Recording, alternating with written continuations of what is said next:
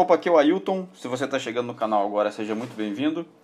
Espero que todo o material que eu tenha deixado até aqui te ajude a dar mais um passo na direção da sua consistência. Se você precisar, é, precisar me procurar, falar comigo, vou deixar na descrição do vídeo os canais para isso, né? chat do Facebook, e-mail para você se registrar e receber os materiais sempre diretamente no seu e-mail, sem precisar vir aqui no Facebook, né? Talvez até arriscado a perder alguma notificação. É, peço que você se inscreva no canal se não for inscrito, vai aparecer aqui no canto direito um logotipo para você clicar e se inscrever, ou então no botão vermelho que fica aqui embaixo. Né? Deixa, deixa inscrito, uh, ativa as notificações para tentar receber uh, esse aviso de materiais novos. Né? O, Facebook, o YouTube enfrenta alguns problemas de distribuição de notificação, mas pode ser que uh, dê certo. Se você já segue o canal, muito obrigado. Espero que todo o material também venha te ajudando. Comenta o vídeo, clique em curtir se você gostou, não curtir se não gostou. Mostra para aquele seu amigo que ainda está um pouco preso em alguma coisa que enfiaram na cabeça dele e ele não consegue tirar. E, e esse vídeo aqui é uma continuação do vídeo do, de ontem, né, que eu coloquei aqui a respeito dos padrões do jogo. E eu falei para você que eu, que eu queria provar que é possível a gente se, se antecipar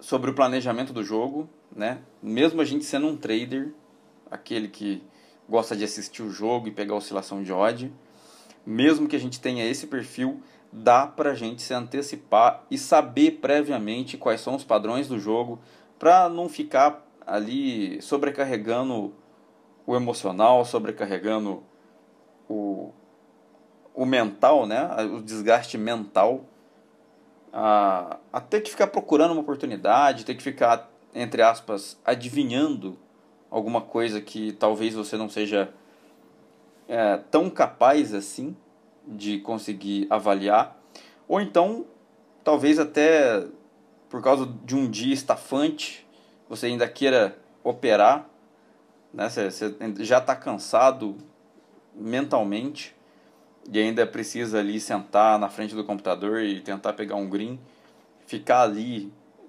eh, tentando fazer avaliação mental a respeito do comportamento de um time, do, do jogo, pode levar você a ter um prejuízo. Não é necessário, o que eu quero provar é que não é necessário você fazer isso. Se você já tiver o, o planejamento nas suas mãos antes do jogo acontecer, você pode se aproveitar de momentos específicos, de situações específicas, dependendo do padrão estatístico que existe em todos os jogos. Basta você entender quais são esses padrões. Então vamos lá. Eu falei a respeito desse jogo aqui da segunda divisão da Dinamarca, Frederícia 2 a 0 no Roskilde, que aconteceu nessa nessa quarta-feira, né? É, esse jogo aqui ele acabou 2 a 0 um, um gol aconteceu aos 38 minutos e o outro gol aos 56 minutos. E eu falei para você ontem no vídeo, né, se você não assistiu, se você está chegando agora aqui, recomendo que você assista a parte 1 para depois assistir essa daqui, para você visualizar o que foi que aconteceu aqui e que ficou evidente que o que eu falei ontem e o que eu venho falando há muito tempo é realmente verdade e a gente pode basear nisso para ter green, tá? É, para facilitar um green. Eu falei ontem que através é, lendo os momentos de gols do jogo é possível, mesmo que a gente seja um trader, é possível a gente já esperar momentos de probabilidade alta de um gol acontecer. E eu falei ontem que para esse jogo aqui existia probabilidade alta de gol acontecer dos 31 aos 45 minutos, dos 6175, 7690. Fora esses três momentos, existia o momento dos 4660, que tinha também probabilidade de gol, mas não era tão forte assim, o que não excluía a, a chance de, de acontecer esse gol.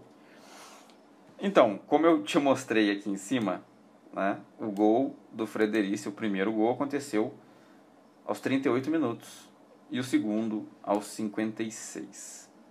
38 minutos cai exatamente dentro do primeiro momento de probabilidade alta de gol para esse jogo. Ora, ficou evidente então, né? Eu acho que eu não preciso ficar falando mais muita coisa, porque eu não precisei ver chute a gol, eu não precisei ver movimentação de jogo, eu não precisei ver se o jogo tá, começou under, se o jogo começou over, se o time está atacando, se o time está tendo escanteio, se o time está não sei o que. Eu não precisei de nada disso. Como é que você me explica, se eu não, não olhei nada disso, como é que você me explica que eu acertei o primeiro momento de probabilidade de gol acontecer?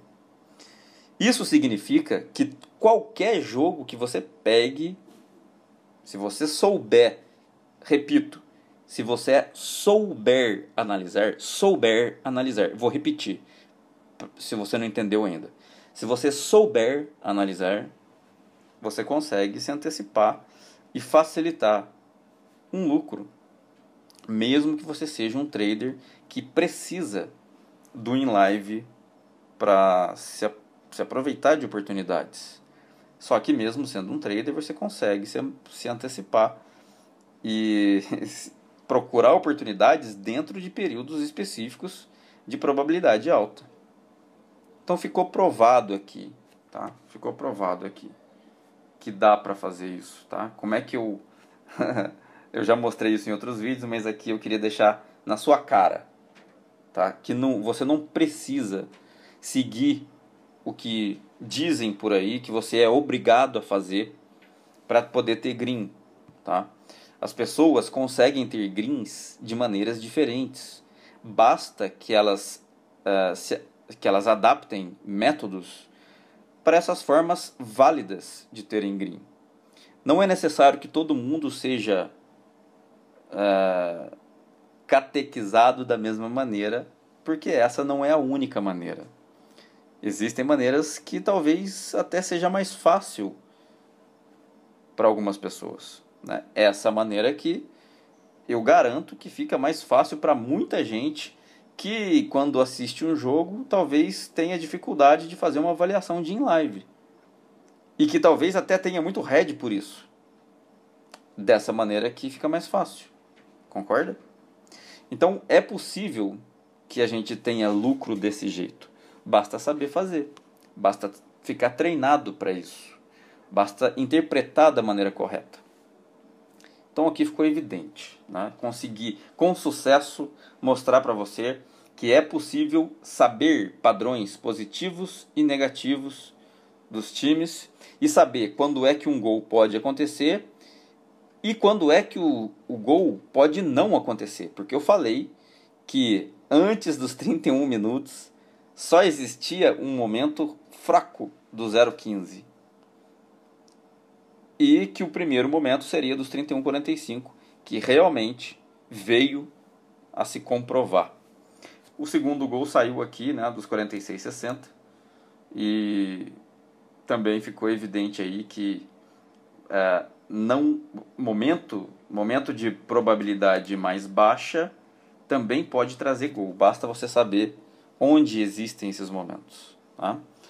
É, bom, então, uma vez que eu não preciso falar mais muita coisa, está desenhado na sua tela para você entender. Eu gostaria que você estudasse melhor isso daqui e se adaptasse a coisas mais fáceis para você ter lucro. Tá? Vou trazer outros vídeos com outros padrões diferentes desse, né? em outros mercados, talvez até em outros mercados, para você entender que é possível a gente ganhar dinheiro fazendo leitura de estatística, não ficando exclusivamente dependente de InLive. Era isso que eu queria te mostrar. Muito obrigado, bons greens, se inscreva no canal, comenta o vídeo, compartilha para seus amigos que ficam aí bitolados em live. E é isso.